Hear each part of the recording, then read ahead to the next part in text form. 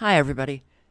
June 16, 2021. Did you hear about this? Wells Fargo cancels Lauren uh, Witzicki's bank account, leaves her stranded out of state with no money. Wells Fargo, because they have the right, they can cancel accounts.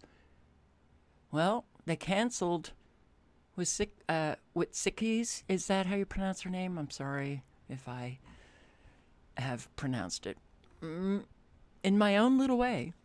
Um, she ran for Republican uh, as a Republican Senate in Delaware, 2020 elections.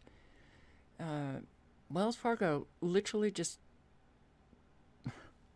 she went to get money out and she had a zero balance. Removed all the money. Um, I think they're going to send her a check. But how do you do this without at least giving a forewarning? We've decided to cancel your account. You have 30 days, or 15 days even. No warning.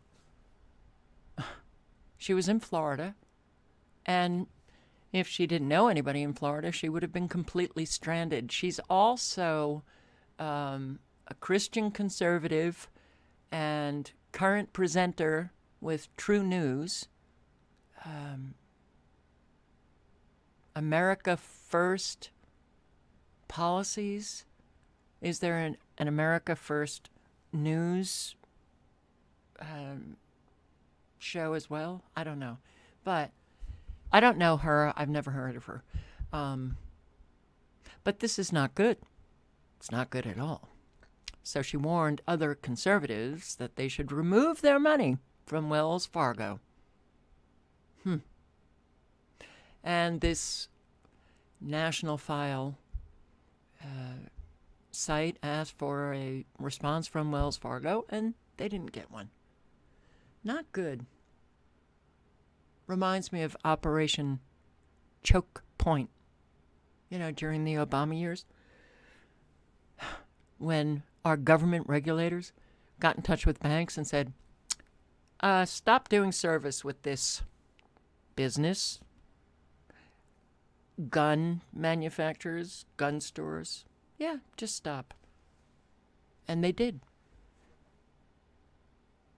We have a criminal government and criminal corporations that are behaving in ways that should really alarm everyone.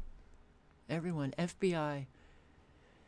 They raided this, um, what's it called? U.S. private vaults in Beverly Hills they raided that with a warrant, but the warrant didn't include looking at private uh, boxes.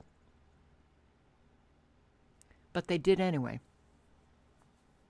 And they got an awful lot from innocent people.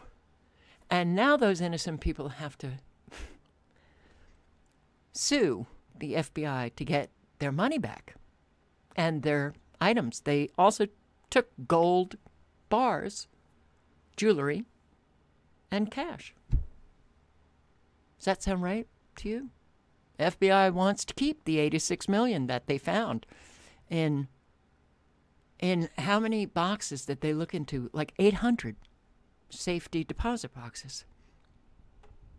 But that warrant was only to uh, look into the office, not private boxes. So the FBI went beyond what they were allowed to uh, investigate. And, you know, that's not right. We have a criminal government that does whatever the hell it wants to do. Okay. All right. Beverly Hills, California safety deposit box business. Hmm. Well, prosecutors claim it's fair to make the renters of the 369 safe deposit boxes forfeit their valuables because they were engaged in criminal activity, but there's no evidence to support that allegation. You know the the uh, civil forfeiture laws, where if you're related to somebody who uh, may have broken the law, you know, they're buying a joint of marijuana from someone, the police literally, let's say if a son is staying with you, and I mean, it could be the slightest uh, infringement, a nonviolent crime. The police can they can raid your home, and they can seize your home, your car, all your cash, because you're related to somebody who violated the law in a very insignificant way. This has been going on for years. This is a criminal government that is stealing from innocent people. No evidence to support that those 369 safety deposit boxes uh, were that those people were engaged in criminal activity. The people that um, have those safety boxes, but hey, we're just going to keep it.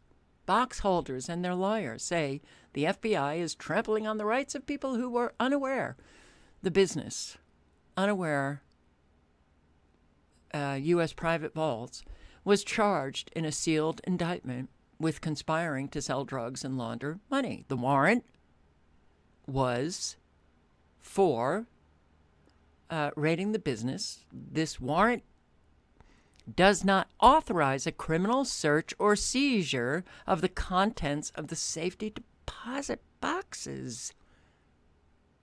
But they went into those safety deposit boxes anyway. And a lot of innocent people have been hurt by this. Doesn't seem right, right? They even they're even keeping 1.3 million in poker chips from Las Vegas. Gold and silver bars, pricey watches, keeping the cash. Well, you know, when you have a criminal government, this is what it can do.